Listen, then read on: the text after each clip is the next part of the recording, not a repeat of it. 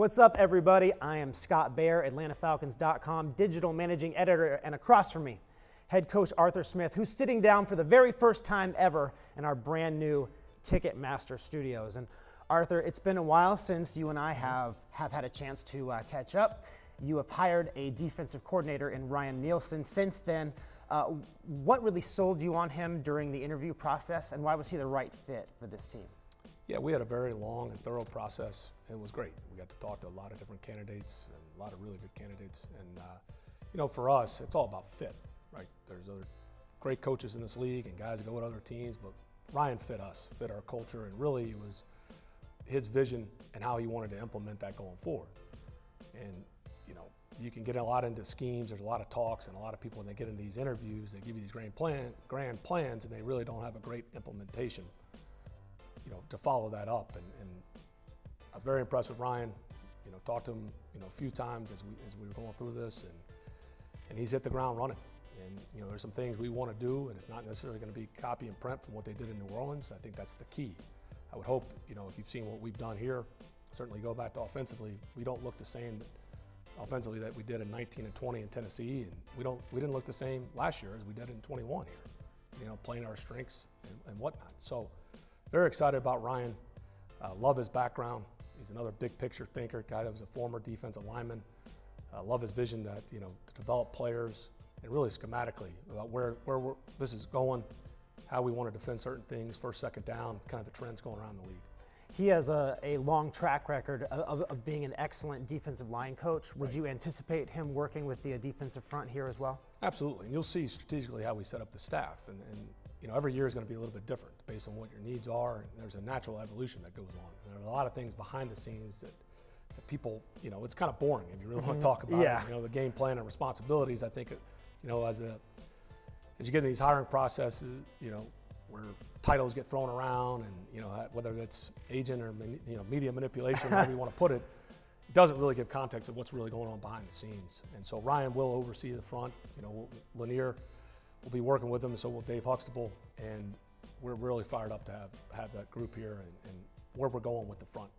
And you, you, and Ryan wasn't the only big name defensive coach that you added. You also added somebody that you have a long history yes. with, Jerry Gray, who, has been a DC at a couple different spots. I think he's been coaching about as long as you've been alive, yes. maybe. Uh, why, uh, why was it important to add him to the staff? Well, it's about fit and chemistry and, and mix, and you want to have a you know a diverse group of opinions too, and mm-hmm. guys with different backgrounds. And you don't ever want to be stale.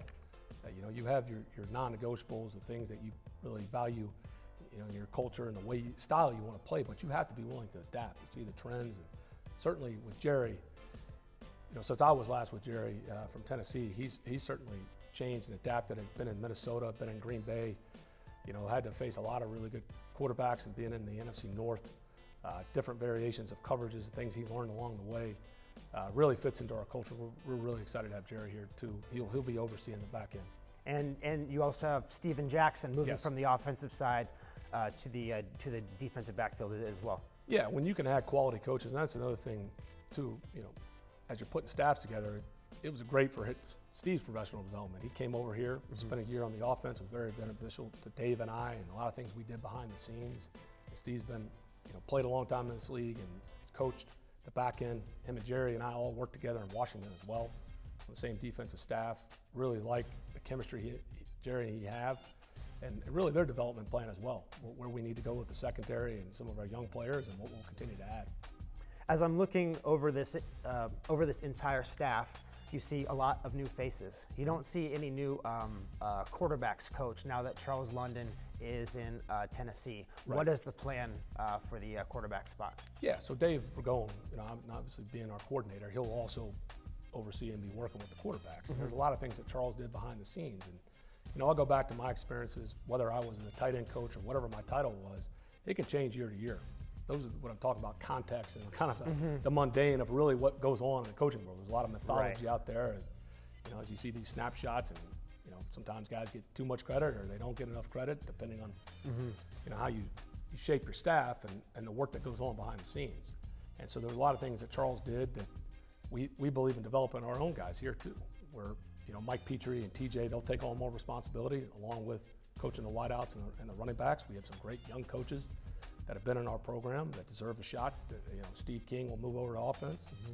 Uh, Patrick Kramer, and those guys deserve shots. And so we'll, we'll distribute different responsibilities. Uh, you know how we game plan and how you know our logistics that go into practice planning. That we're really excited those guys as they continue to work their way up. We've also moved Nick Perry over to mm-hmm. offense, which will be good for his development, and vice versa. We did with with Mario mm-hmm. Gabriel. So he, he'll be working with defense, and I think that's important as you're you lean into developing your own guys. Mm-hmm. We brought guys in from the outside, but we also have a, a, talent, you know, talented group of young coaches that are that are working on their craft that can really help us, and uh, we're, really fired up about this group.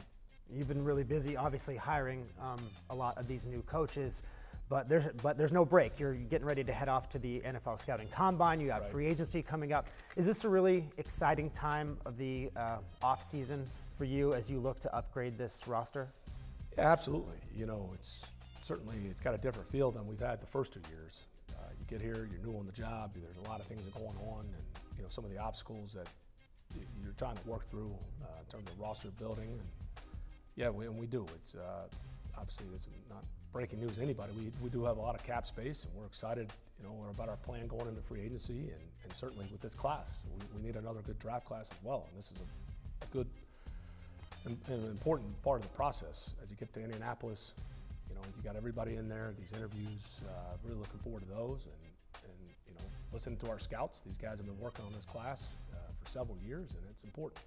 It's and you've said several times that it's not just about finding the best 53. It's about finding the right guys. Absolutely. How important is culture fit when you're looking at signing new free agents or adding new pieces to your uh, next draft class? Yeah, it's, it's really important to us. The, the easiest thing is to evaluate, well, this guy can run. Uh, you know, you can just see all that stuff on, on tape. Mm-hmm. Like, oh, wow, the guy's big, he can run. You know, the minimum job requirements in certain positions. Yeah. But it's about, you know, the, the mental makeup, what they're about, their habits, all these things you're, you're digging into, and, and getting to know these guys. And again, you there are going to be a lot of guys here that we, we want to coach that we'll never get the opportunity to. You know, some of it the way it falls in the draft, mm-hmm. you know, some of it's luck, and then you know the order where you select it. Um, but I think our staff has done a really good job uh, in our first two years uh, getting the, the, character right. Uh, you know, and that, that gets thrown out. It's it's a vague term, but it's really about the mental makeup, their habits, things we're looking for uh, with these guys, and, and you know growth potential and development. And you were talking uh, right after the, the, the, this last season about trying to get better with, with, with the defensive pass rush and becoming more explosive on the offensive side Certainly. of that ball. Um, do you look at free agency as a chance to upgrade those two areas? Yeah, I think you use every roster mechanism available. Mm-hmm. You know, the things that happen, um, not, you're going through, you know, not skipping any steps as you're saying, hey, look, if we can add this player – you know, we may have, you know, may take touches from this guy, and you know, we may have to, you know, move him over here. But, so there's a lot of strategy involved in that, and again, what we can control, and guys that we'll target, and then some of it, you know, will be out of our control if somebody resigns with their, you know, their own team before they hit the market. But uh, we've got a pretty good feel, and, and this will be a big week for that as well. Uh, as you uh, as you kind of move forward here, the, the the Atlanta Falcons were a very good running team last year. Right. Do you how important is it to maintain that efficiency uh, running? And could we see some new faces maybe involved with, with, with the uh, run game? Well, certainly. I mean, I think the one thing that you can go back and look mm-hmm. that we're, willing to do here. You know, it's easy to use buzzwords and coach speak about a, you know being adapt and we'll you know we'll mm-hmm. change you know year to year, or week to week, whatever we got to do to win it. But you know we've proven that. You know, mm-hmm. you go back to 21 we certainly picked the ball up more and leaned into that. Certainly, Matt's strengths were, and what we felt the strengths of the team were as we were, you know, building the culture out, and then you know going into last year, you know, without having Matt, we obviously signed Marcus and ended up drafting Dez, and there were some things that we knew we needed to get better at on the flip side from 21. Sure. a rushing attack, and as, as we leaned into that, we were a lot different than we were in 21. We, you go back and look at our 22 season. Uh, you know, it wasn't just your traditional running game that, that you saw. We were in the pistol more. We used a lot of zone read, which we felt played to the strengths and doing everything we could to win win those games. Mm-hmm. As we mm-hmm. built it and we made the transition to Dez. And you'll see it hopefully be more balanced because you do want want to get more explosive, and whether that comes from the run or you know in the passing game, um, there will be more of a balance. That that is certainly uh, be our intent going into the 23 season. Yeah, and here comes some quarterback questions. Uh, Desmond Ridder, how do you think he did over his uh, four starts to wrap Yeah. up 2022? Well, I think Des in the, in the four-game sample size, uh, he, he improved a lot, and I think that the other things that that I thought he did well, uh, he didn't repeat a lot of the same mistakes. You know, there's a lot of things that go on. You know, playing late in the season like that, going on the road. Uh, I thought he did a nice job handling those critical downs. Third down, fourth down, getting into situational football, two minute. Certainly, uh, week after week, improved a lot. And there's a lot of improvements he made from the time he got here. Why we're excited to work with him. So I, I do think Dez's future is bright. Is he your starting quarterback in 2023? we're not naming any any starters right now. Right? Yeah. There's a lot of things that, that can happen. Um, you know, very, very excited about Dez. No, no different than we're excited about Tyler Allgeier and, and Drake London and, and the improvements they've made and, and guys that are currently on our roster. You know, as always, all options are on the table. Anything we can do to improve this team to help us win and ultimately to win championships. That's what, that's what we're looking for. You were saying that that that, that 2022's seven and 10 record was different than Absolutely. 2021. Can you expand upon that? Like, why do you think that that is? Well, different reasons. Mm-hmm. You know, you go back and look at those one possession games, you know, they don't necessarily tell the story. They're not all the same. It's mm-hmm. like when you're sitting here and you're looking at some of these titles that get thrown around the staff and nobody really knows what they're doing mm-hmm. unless you're behind the scenes to give Right. context. May not look, you know, on, it, on the surface. So mm-hmm. yeah, the record was the same. Record one possession games were different. Um, but different situations came up at a different team where I thought we were a little, you know, we obviously veteran heavy on the offense, and that was led by Matt. Right. And, and some of the other receivers we count on early, and Kyle, you know, obviously he got going in the passing game, it was a different team. And, th- and those games got, you know, the way they played out were different, and I think it certainly helped. I think Matt was pretty damn good in two-minute football. You know, when we got the ball, there was a couple games where we had had the lead, where we lost the lead, and then we were able to come back and, Yeah. and finish to win. Uh, this was a much younger team. The way we played was a little bit different. Those, those one possession games, there was a few of them that you know we, we got down early and we clawed back. Uh, just the way we played, what happened in those games, you know how we won some of those games and we lost them. Every year is a different story. But this team was younger. I think that those experiences certainly will pay off. Yeah. We were in a lot of pressure situations for a lot of young players, and when you're coming from college football and you're at some of these big programs, you're not in a lot of tight games. Right. You're not, and uh, and that's the beauty of the NFL. You know, you get down to the critical. Every snap matters. You know, that's that's cliche, but it's true. And in every phase too. You know, we were able. I thought we improved in the in the special teams area. Certainly made some game-changing plays for us as the, as the roster got younger. Some of these young guys, the DeAngelo Malones, the Troy Andersons, Lorenzo Carter, uh, KhaDarel Hodge, uh, Richie Grant, Avery Williams, they made some enormous plays in the kicking game. Obviously, Cordarrelle Patterson was able to break the record, and there were some great blocks on that play. Uh, you know, going back top of my head, Troy essentially blocked two guys. You know, that that's exciting. You know, the way I thought defensively we improved. Uh, certainly, we want to get into some, you know, more long yardage situations to be able to pin our ears back, go get the quarterback. That's certainly a point of emphasis. You know, the pass rush uh, and becoming more explosive on offense. It, when when you look back at this last draft class, you got some big time contributions from Drake, from Troy, all the way down the uh, line. Stacking draft classes is always key when it comes to having good roster depth.